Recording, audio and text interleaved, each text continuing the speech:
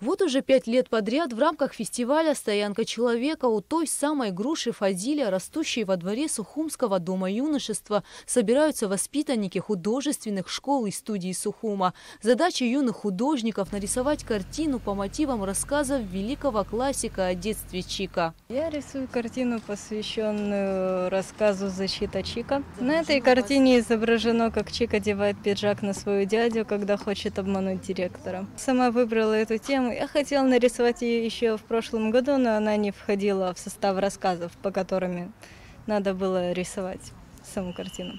Я рисую, как гуляет Чик со своей собакой, белкой. Мало читала, но я знаю, что у Чика есть большой дом и очень большая семья.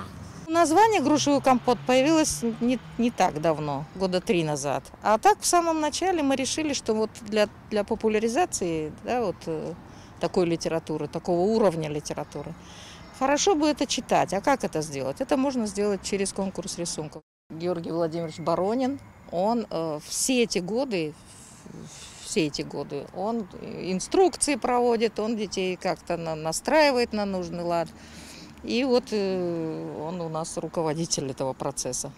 В этом году в связи с введенными ограничениями мероприятие проводится с соблюдением всех санитарных норм, а теплая солнечная погода позволила провести конкурс на свежем воздухе.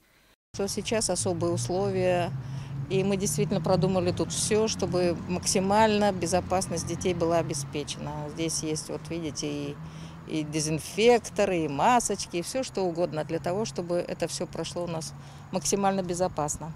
Ну, в общем, э, как процесс, собственно, шел в этом году? Обычно мы, да, мы читаем прямо в рамках нашего конкурса. Перед конкурсом рисунка чтение происходит, там либо прозы, либо поэзии, то есть что-то читаем, какие-то фрагменты и так далее. В прошлом году какие-то кусочки мы раздавали студиям, которые тоже знакомились с, э, с кусочками, которые мы выбирали. А в этом году всех детей там звать к себе и собирать и так далее, мы просто попросили их прочитать цикл рассказов детства Чика.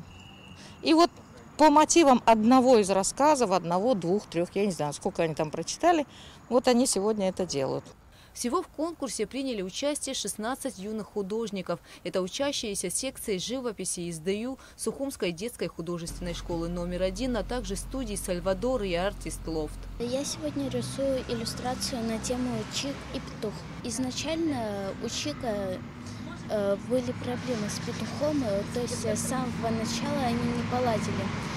Э, и это происходило на протяжении нескольких дней.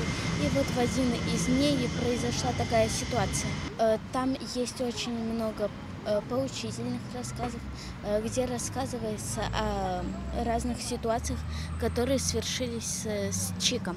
Шестой международный фестиваль Фазилия Искандера «Стоянка человека» завершился торжественной церемонией награждения победителей конкурса детского рисунка «Грушевый компот».